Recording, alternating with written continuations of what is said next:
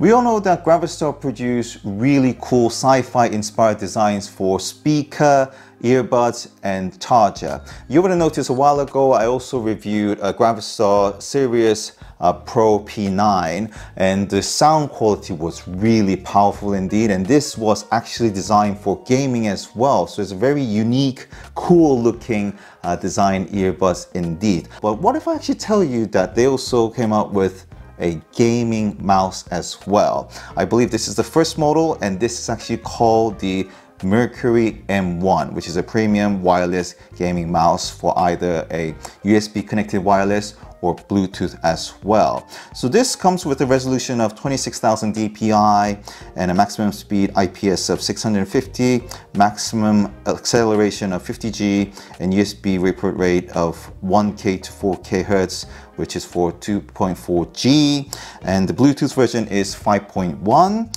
and the input of 5V to 350 mA and the battery capacity of 300 milliamp per hour which is really good. The charging port is type C and etc so uh, I'm really excited to find out how cool this is gonna look. I've been told it's very light and it's actually made of um, magnesium alloy as well. So that would be really cool to find out. So enough said let's get into the unboxing. So here it goes.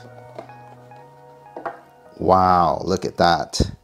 That reminds me of this web of almost like that film alien.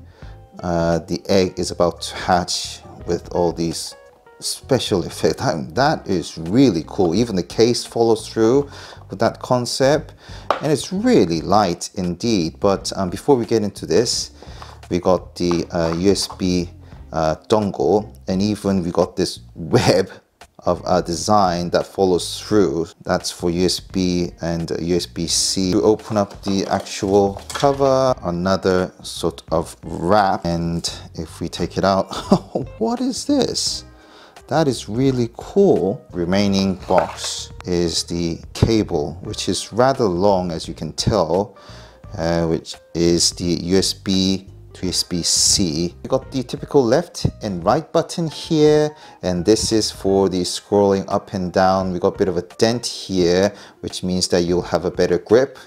This is the uh, DPI button. So apparently you can circle through the sensitivity level as well. These are just a mouse button one and two which you can customize. And apparently here is where you're going to get the ambient light.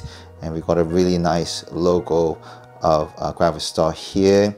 In the bottom we got the uh, button to the left which is for the um, 2.4G of um, wireless control connection. And on the right is for Bluetooth. And in the center is where you turn off uh, this is actually for the uh, sensor. And here is a slot where you can actually put in uh, the USB dongle like that. And you can see the uh, logo here.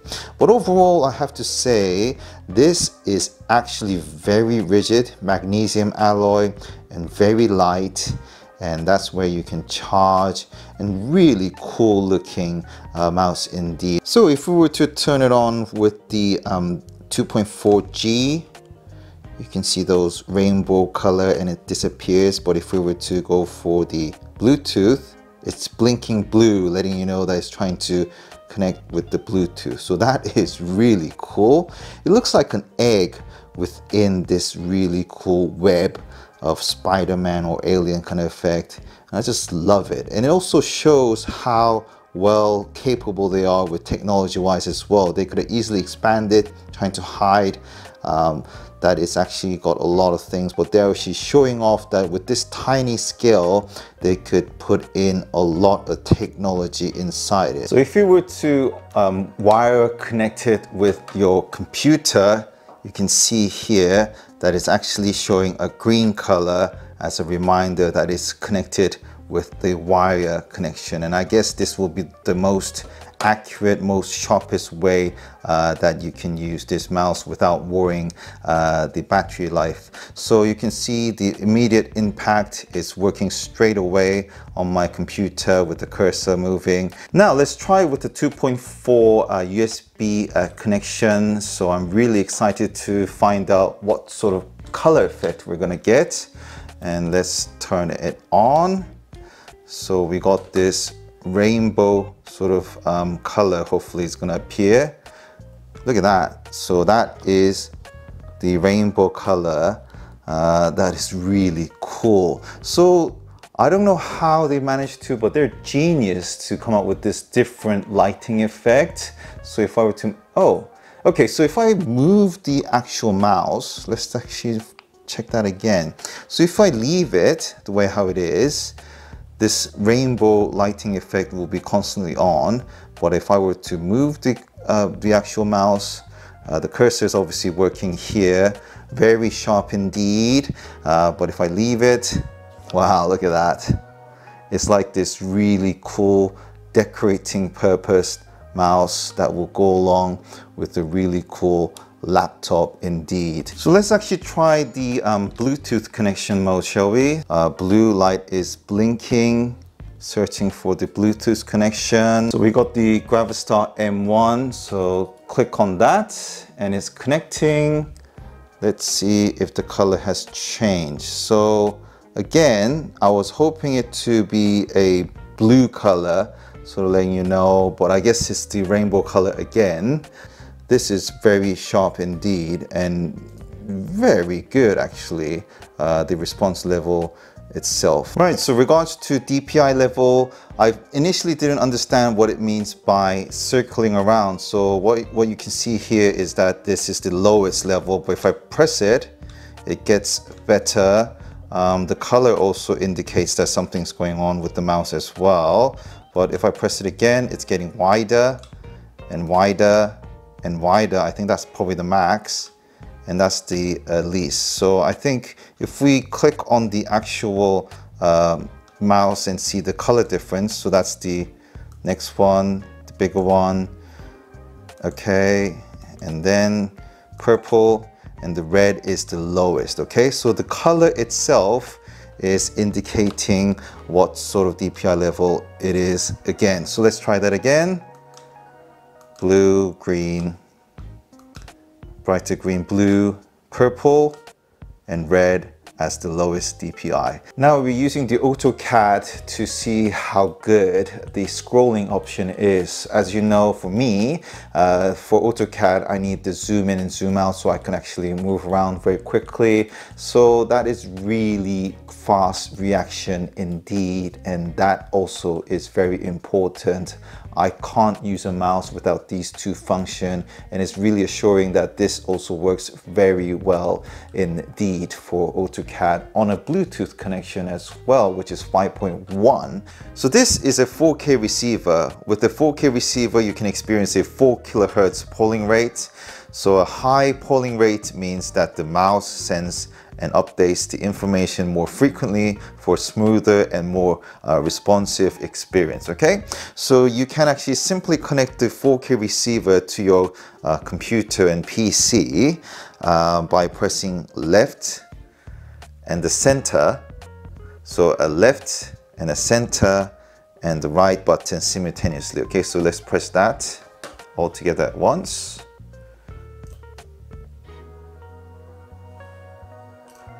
And then you can see the blue light blinking okay? Which means that the uh, 4K receiver is now connected to the mouse. So that's brilliant. Look at that. Another indication light of connection. And that's all confirmed.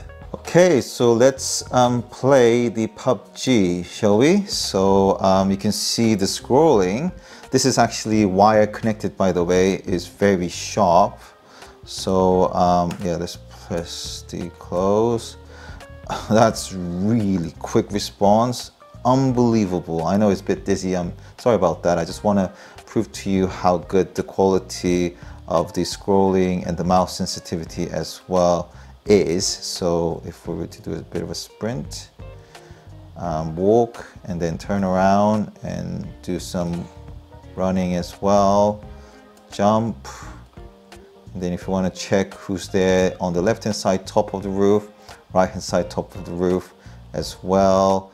Um, it's almost too sharp um, but that's a very good thing isn't it? Um, run forward and um, I, I haven't actually played PUBG on a you know on the computer itself so I need to get used to the keyboard use but this is really good I mean it's one of the most important thing isn't it for aiming wise uh, very sharp respond again very quick indeed so well done for that. So not only am I actually completely blown away with this magnificent design, but also the functionality and the material as well. So this LED light that looks like a egg inside a web is indicating what sort of status it is. So let's say if it was plugged in on a wire, it shows the green light showing that it's charging. It looks really cool. But if it's not on a wireless status, either by Bluetooth or the uh, 2.4G, it shows this uh, rainbow effect as well. While you're using it, it goes to like completely dark, but it comes back with the uh, temporarily um, rainbow color to letting you know that it's a really cool mouse to have with a really nice laptop. Now, I really much prefer the wired sort of charging capability than the battery replacement function because um, I think it's more environmentally friendly as well. Uh, but also this has a very good battery uh, life as well, 300 milliamp hours. So I really look forward to a long-term use. But if it does run out quicker than I thought, I could always uh, put in my wire connection and so on. So it's not, not a problem. We've got so many USB-C cable. If I don't happen to bring it, I can use any cable and so on, if you see what I mean. But I've been using this mouse for about an hour now and immediately when I actually turn on my existing mouse, which is the Logitech G604 uh, Lightspeed mouse, I instantly got bored with the design because this uh, Mercury M1 design is so cool looking as well.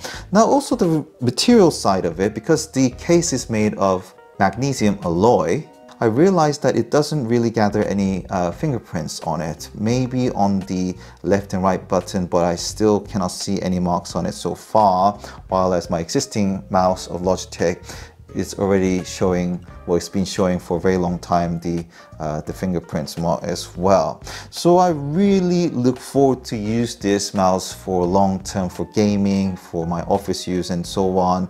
Uh, and I'm really grateful that Gravastar actually gave me an opportunity to review this great product indeed.